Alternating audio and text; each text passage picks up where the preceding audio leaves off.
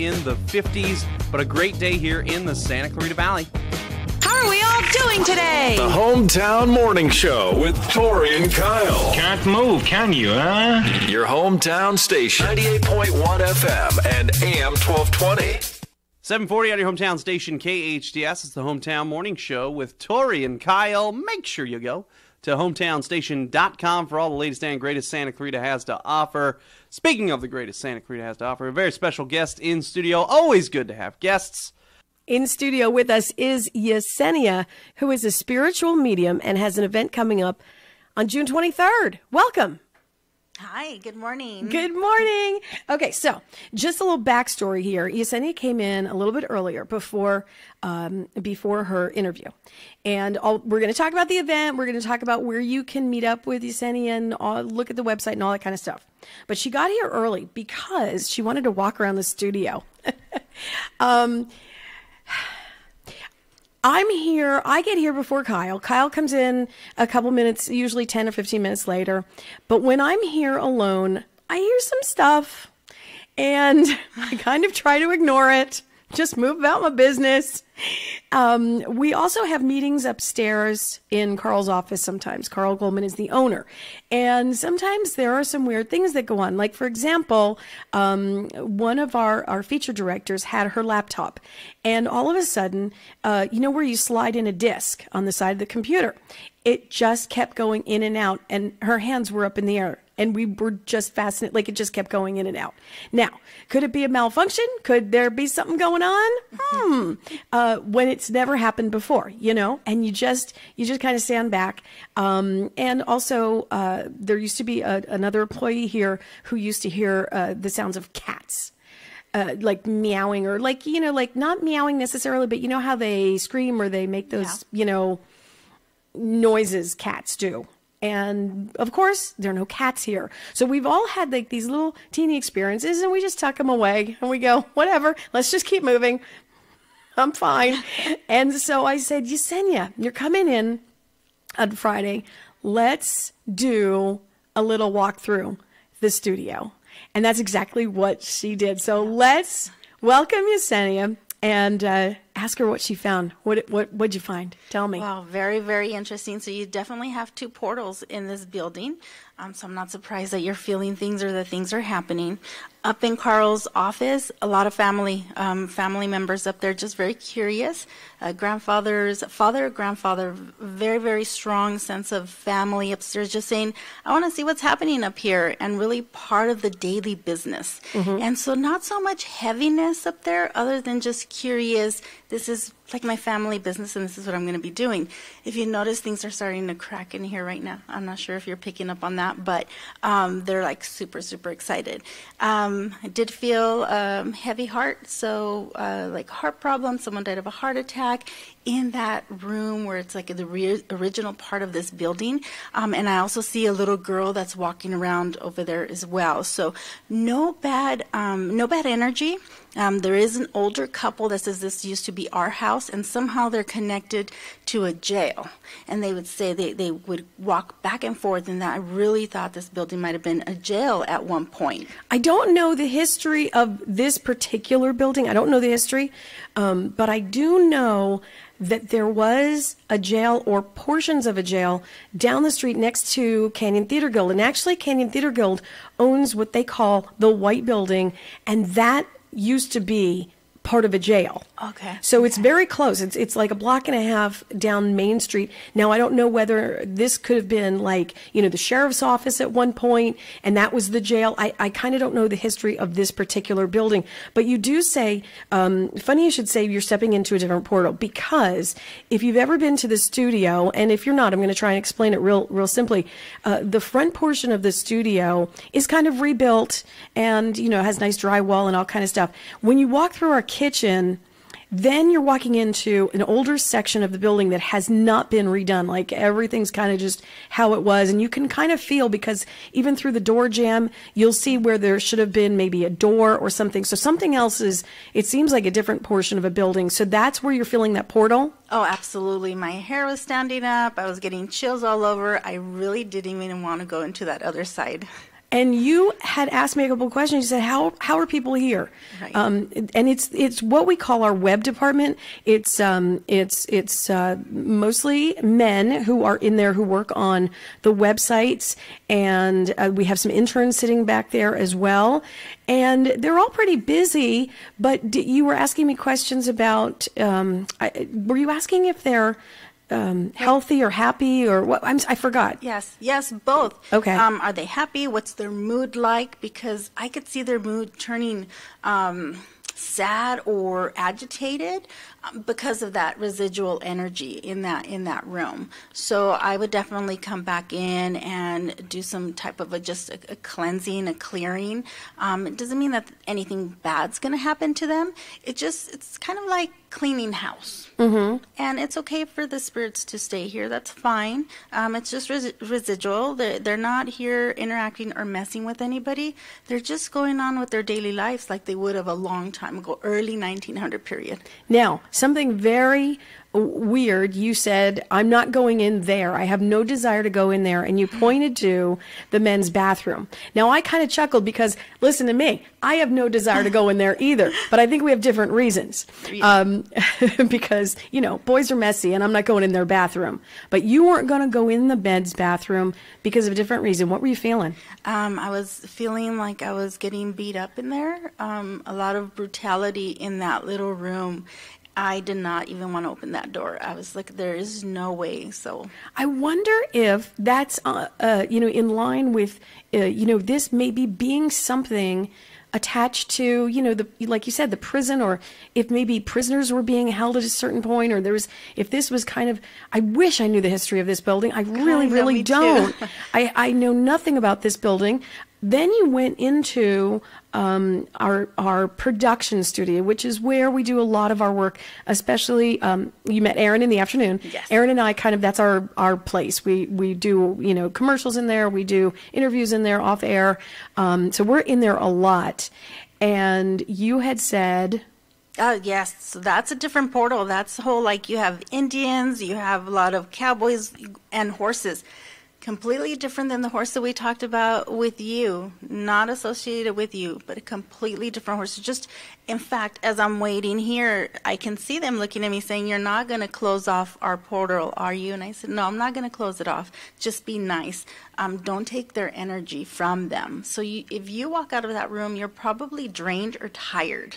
Uh, I wouldn't be surprised if, if that's the case. I a think daily Aaron and I are basis. both exhausted when we leave here. Honestly, Yeah. I'm not kidding. We have we have a lot. You know, we have a lot on our plate, and we're both on air, and we both do stuff off air. Um, and so by the time we leave, we are usually exhausted. But are, they're they're kind of pulling on us. Absolutely, absolutely. Are they going to chill out a little bit? They are. They will. They will. Um, y- it's important for both you and Aaron to take some time, maybe step outside, get some sun for a little bit, re-energize naturally, right, uh, with the sun, and then come back in. Okay. And then you can also tell them if you're starting to feel that weight, just say, hey guys, stop traveling through here. We're just going to close the road for like a, a day or whatever. Give us that time to just re energize. And then you guys can flow through or just don't come in as heavy. Excellent. I'm going to take a quick break. We're talking to Yesenia right now, who has an amazing intimate event coming up at the Hyatt Regency later this month. We'll talk about that in a second. Can you hang out for just a bit? Absolutely. Let me just do traffic. Let me get everybody where they're supposed to be going. Beep, beep, beep, beep. Go! 748 traffic on the 8s every 10 minutes right here on your hometown station KHTS.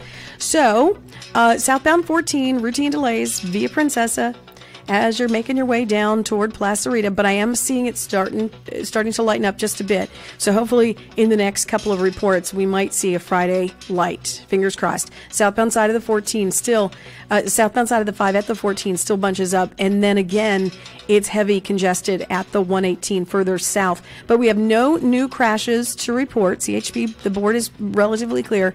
Southbound side of Sierra Highway still a little bit heavy as you're coming into Golden Valley, but it gets better into Placerita. And that's traffic on your hometown station, KHTS. Little Eye Leaders is the newest preschool in the Santa Clarita Valley. At Little Eye Leaders, our outstanding teachers lead with intellect, perspective, and heart. That means our programs provide a warm, nurturing atmosphere to meet the unique needs of each child. We believe that play is a powerful form of learning for young children.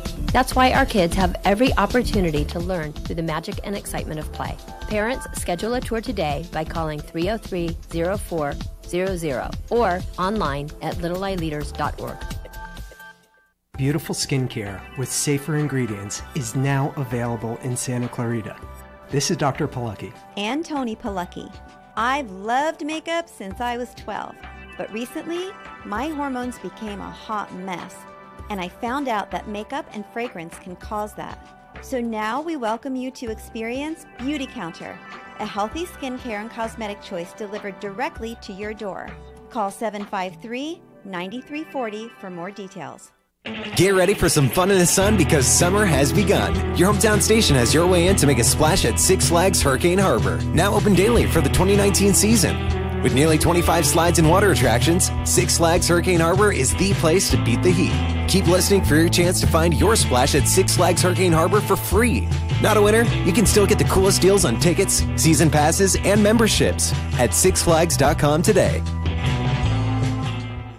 It is 7:50 on this Friday. Good morning. It is Hometown Morning Show with Tori and Kyle and a special guest in studio right now, Yesenia, who is a spiritual medium and we have just had uh, I don't know about her, but I'm having a very fascinating time with her because we're learning about uh, we're learning about the building today, our studio and what's to expect. Like I said, I'm usually the first one here. very early in the morning. Kyle follows me in a couple minutes later, but I've heard a couple of creaks and stuff that really, you know, I say, oh, that must be a pipe or that must be something or other. And I just put it to the side. We've had some, you know, some other crazy uh, things happen here and there. And we just, you know, we tuck it away and whatever. But uh, it seems as though we, I'm, I'm anxious to find out the history before you come back the next time to see kind of where this all uh, plays in. Favor. I'm going to ask for a favor, Yesenia. So you're saying, you know, we've got we've got some Indians and their horses in in production studio, which is the first place I head into in the morning because I have stuff that I do before on, I get on the air, and Kyle and I head right in there. Okay. Um, little bit of a favor. Last time you were here, you said my dad comes around a lot and and hangs it hangs around. Um, could you just ask him to hang around like in the early morning for me? He's already here. Oh, he's already here? was always late. Okay. Yeah, I think when he was alive, he used to arrive at places late. Like he was a late. He was just late. He said, "Sorry, I'm late," because he just walked in and was saying hi to me, and he's like, "Oh, I'm here." So I don't know if you noticed your computers had cracked a little bit in the last segment, but that was him just saying, "Hey, I'm back. I'm here." Uh-huh. I'm here. Like, I'm yeah, here. Good. absolutely. Okay. Can you tell him not to be late anymore? I will tell him. Don't be late anymore. don't be don't be late because you know now that we're finding out little things around here, you know, it, you, You need little- that extra security. You need a Yeah. little, you get a little goosebumps. Okay, so uh, yeah, if he if if you don't mind, uh, if you don't mind, Dad, can you come in? Just you know, when I'm here, come on in. Um, is is there any other heavy? Uh, or or bright energy. You see, I'm not. I don't even know if I'm using the right words. But um, any bright or heavy energy that you're feeling right now in Studio A, which is our main studio, which is where we're on air all the time. Is there anything going on right now? I feel a lot of love in this area. You're very well protected here. A lot of white light in this area. So this is your little safe haven. Okay. Nothing bad on that side. I Mm-hmm. want you to think of it as just having clients hanging out.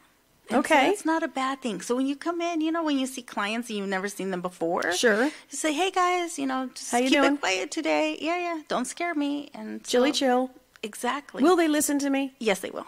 I mean, because you know, you kind of have this pow- uh, power. I'm, I'm, I'm assuming um, that maybe I don't have. I mean, you have I- the same power. I do. This is your home. Yes, absolutely. How do I tap into that? I mean, how did you tap into this? just just like I walked in, you welcomed me. So when you walk in, hey guys, you know, make it a nice, pleasant morning. Remember, I'm alone. I don't want any noise. Don't make me feel weird or scared, and we're gonna have a pleasant day. Yeah, because I usually have a good 10, 15 minutes before Kyle walks in.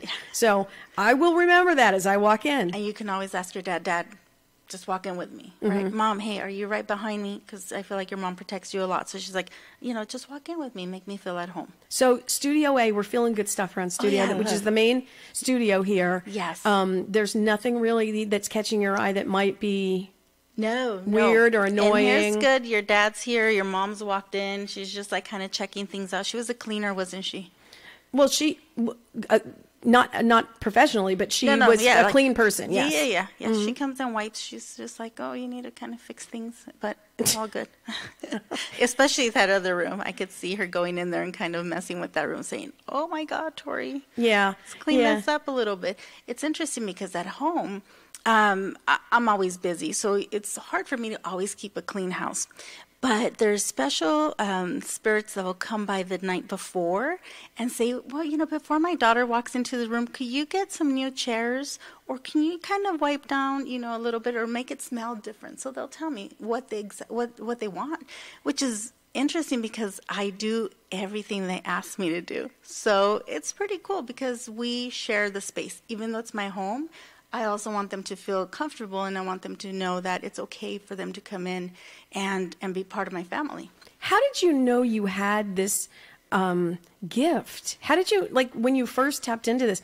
Did it scare you? Did you like how do you how did you even know? Yeah, so you have to remember when I was seven when I started seeing spirits. It was right after my dad passed away, um, and he he died tragically. Um, so him and I used to have long conversations in the closet, and I couldn't share it with anybody for many many years. Did you feel that people just wouldn't believe you, Um, or yes. were they private thoughts? In, in conversations. It was both private conversations. Mhm. Always asked him what, what he was feeling and stuff like that. Um, also, just helping him or asking him to help me get through that tough period, Mhm. um, and with my siblings as well. So that was very difficult for for all of us. Um, but just learning to talk to spirits. He was my first one. I, well, my first one was around three or four years old, where I felt this great great grandmother with me, and I could. She shows me exactly where I was, and it was like I was an adult, and I was walking everywhere. Um, and then, and then again at, at seven. So I've had it this whole time. It wasn't until I married my husband Michael that um, he says, "Do you do you know what you have? You're a medium." I'm thinking, "What what is that?" and so he, I said, "You mean I'm not crazy?" And he says, "No, you're not crazy." And um, and that was right after my brother passed away. And I'm kind of embarrassed to share this, but we cremated my brother. My brother was six four. He weighed about three to four hundred pounds, about four hundred pounds. He was a big guy. Um, and when they cremated, the vase with his ashes was very small. And as I'm pouring him over into the ocean in San Pedro, I said, "Damn, Philip, I can't believe you fit in this thing." But I just spiritually was talking to him because that's how my brother and I would talk to each other. We were just, he was a fun guy. And so um, when Michael walked in, because my husband is also a medium, when he walked in to visit that day, he says, I don't know how to tell you this. He says, but your brother says he did fit in that thing. And I wanted to die. I was so embarrassed. And that's when we started talking about my gift and his gift. And it was just like, wow. I said, test me test me to see if this is a gift or, or what talent or what is it that I have and can I help other people. And so that's what's happened the past 17 years. I would have, I don't know what I would have done if someone had said that to me. Um, and so you probably have these moments all the time. These are probably now second nature. To, they probably happen all the time, and now you're getting used to it, and um, it, it's not jarring anymore. You know, like that Right. particular uh, you know incident with the ashes. It- Right. it- it's just you know commonplace. It is so fascinating. Um, I cannot wait. I, I wish you were in here every single morning because I have just so many questions about your life and about obviously about you know any spirits you see with me, a- any energy that you see with me in the building, and and so uh, I'm happy to say you are coming back on Monday. Yes, yes. So uh, and we we want to talk about. I will. You know what? She see Yesenia. I know Yesenia put, uh, brought in some gifts for me, and I'm so excited. She brought in a beautiful heart, rose quartz heart, which I have in my pocket right now, and uh, a beautiful T-shirt, which I'm going to wear Monday. Yay. I'm going to wear that Monday with the event on it. Now, the event, the spiritual event, it's at the Hyatt Regency, June 23rd, 5 p.m. It's an intimate event. Uh, please get your tickets at Eventbrite dot com and uh, you know if you have any questions for Yesenia feel free Monday morning she's going to be back I believe 740 so if you have any questions you can Facebook us you can call us or you can call her directly on Monday let's get a quick look at Trivet thank you so much Thank Sienna. you for having I'm me. so glad Yesenia that you are coming back on Monday Go! All right, a quick check of traffic, which things, like I said, have calmed down. Yay for us. No crashes to report. Southbound side of the 5 still a little congested as you're making your way past the 14, but the 14 is getting better. Southbound side still have a little bit of a hiccup right at Golden Valley. KHTS AM 1220 and 98.1 FM Santa Clarita. It's 8 o'clock. Time for national news on KHTS.